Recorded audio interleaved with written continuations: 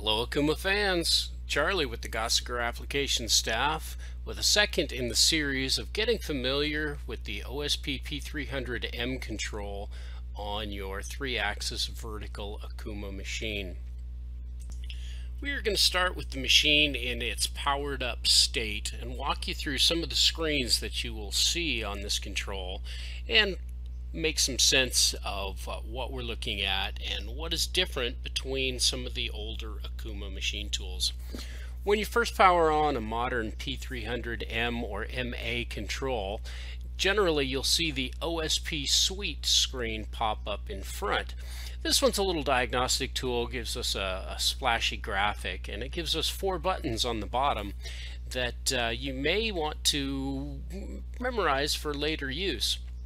The first button is a picture of your machine and that's going to take us directly to the screen that uh, we will be operating parts.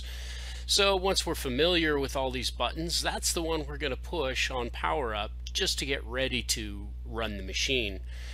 The second over is a maintenance button. If I touch that guy, I have two different um, categories of maintenance items that I can uh, I can utilize as a checklist for when it's time to uh, uh, take care of our machine.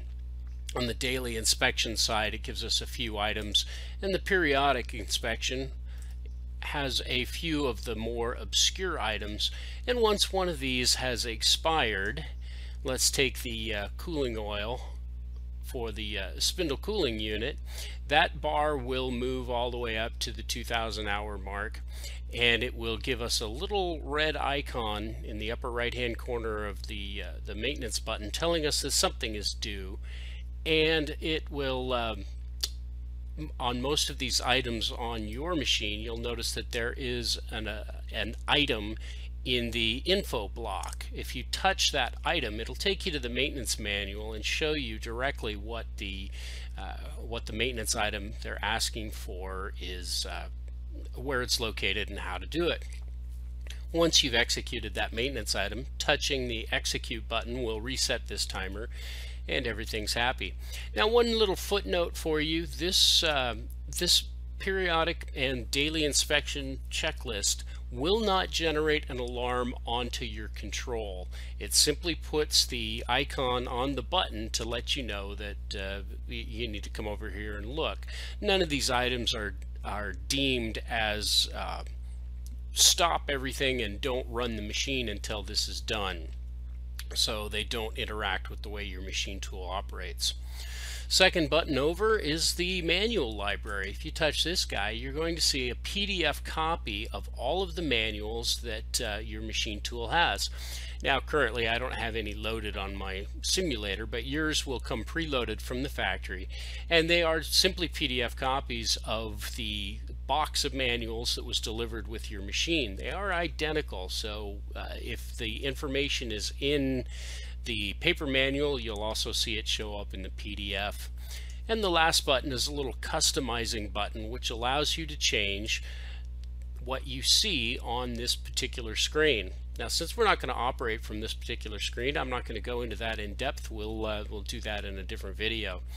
But from this point, I'm ready to just touch the machine icon and take us to our uh, machining information screen.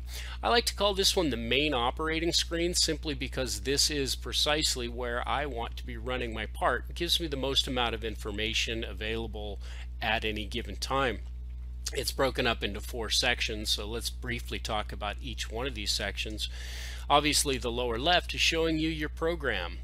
If I am in automatic mode, as I am in this machine, and the machine is not running, I can use the cursor down arrow, and I could, if needed, start at the line that the chevron is, uh, is indicating by touching this here and hitting my cycle start button.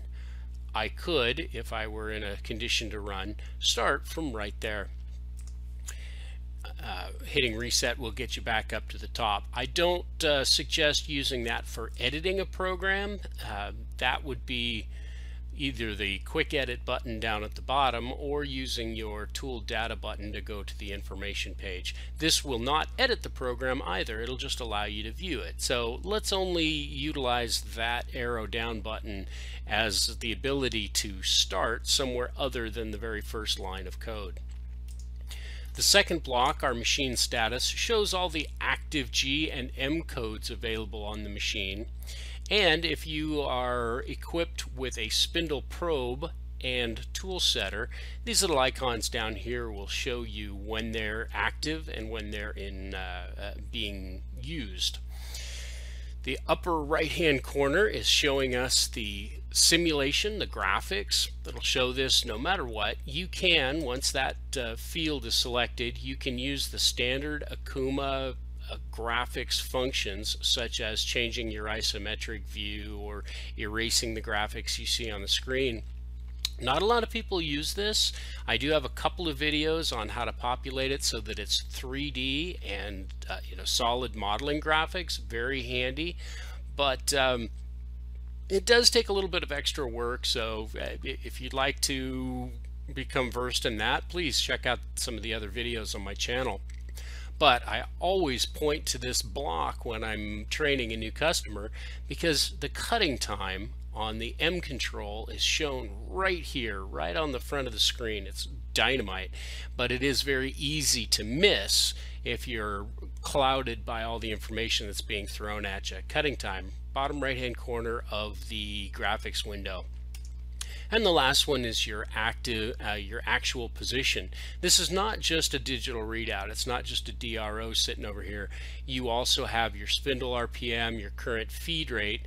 This is the current tool and the tool next listing plus your work offset, which uh, which work coordinate are you in, the H and D value for the current tool that's called up, and let's go one step further. It shows you the value that's in the H. So let's say this is tool 1, H1D1.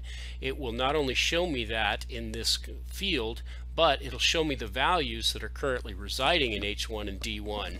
Makes life uh, really quick for, uh, for quick reference.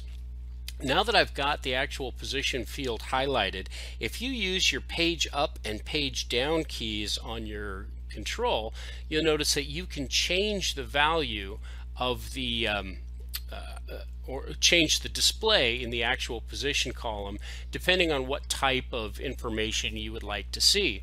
For instance, uh, we've got a, uh, a, screen where it's moved things around a little bit, but it's also showing me my spindle load.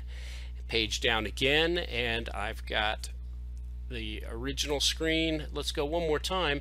And now I've got the load for each individual axis as well as the spindle load. This is a really handy, a handy screen to run from if you're not sure how your tool is wearing or your material is a little exotic. But I do find that an awful lot of people just leave it in the standard. Uh, if you're machining a, a well-known part and it's a lighter material, hey, yeah, maybe your loads aren't that important and you're just listening to them. One other feature of this, um, this main operating screen, if you notice in the upper right hand corner, we have a work setup tab. This is basically a shortcut to our work offsets. Currently we're in work coordinate number one and it's highlighted in yellow to show us that that is the active work coordinate. Now the reason I call this a shortcut is because uh, some of the older Okuma uh, controls would require you to go over to the parameters to get to your program zero and you could operate them from there.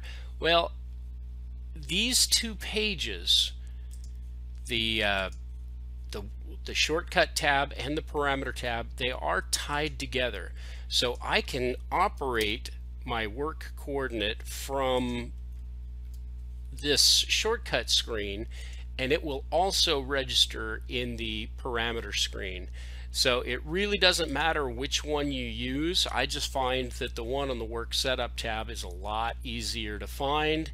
Uh, plus it's a quite a little boon to be able to not have to navigate away, not to have to navigate too far away from your primary operating screen. I do like that.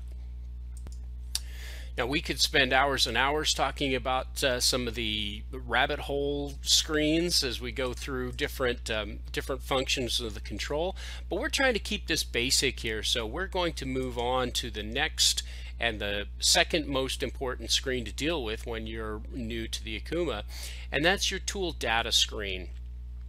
Uh, when the factory sends this machine out, there are no tools populated inside the magazine or the tool data tab. And um, that, uh, but that's because the factory does not want to assume to know how you're going to utilize this machine. We could do it the, uh, the, the way CNC machines in the US have done for years. And as we put in a tool, we just call up that tool into the spindle, we insert, remove anything that's there, insert the tool we want, and we're done. Or we could do this as if it were a library. Let's say, for instance, we're going to say that tool number 10 is a specific shell mill that never gets unmounted, but it does get pulled out of the machine and set in a tool library for a period of time, and we want to reinsert it at a later date. So it gives us the ability to assign a graphic and an offset value to that tool number 10 and pull it out and insert it as we wish. And if someone tries to call that tool when it's not inserted, the control will tell us, hey, well, no, the tool's not there.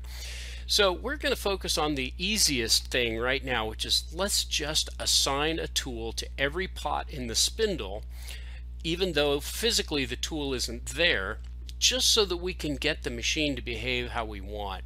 We'll do a video at a later date that uh, describes the library function, but the first thing I want to want to do is basically unlock this magazine so that I can call up tool 1M6 or a tool change macro such as G116 without the machine alarming out and saying, hey, I don't have that tool. So first thing I want to do is to make sure, make absolutely certain that the entire magazine is set to NON or non-existent tool. Same with the spindle and the next tool. If there were a tool there, uh, I don't have one registered, but if there were a tool there, I would want to highlight that guy and use the F3 detach tool. Then I'm going to move over to the tool data tab and make sure nothing exists there. If it does, I will want to use the delete tool data to get rid of it. The entire magazine and tool data tab must be blank because what we're about to do is tell the machine that uh, pot number two in the tool magazine is containing tool number two, three is three, four is four, so forth and so on. And the way to do that is fairly simple if you know the buttons to push. So we're going to start with F1 insert tool and it pops up the tool data, the unmounted tool data. But of course we don't have anything in there right now.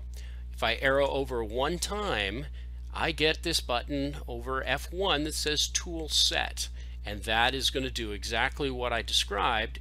When I touch it now it has taken tool number or pot number one and said, all right, tool one's in there, two's in there, three's in there, so forth and so on. Once you've done this procedure, now you can call up tool number M6 or G116 tool number, whatever macro you're using, and the machine will physically go and grab that tool. Now the uh, the tough part about this is say for instance I want to insert a tool in number 37.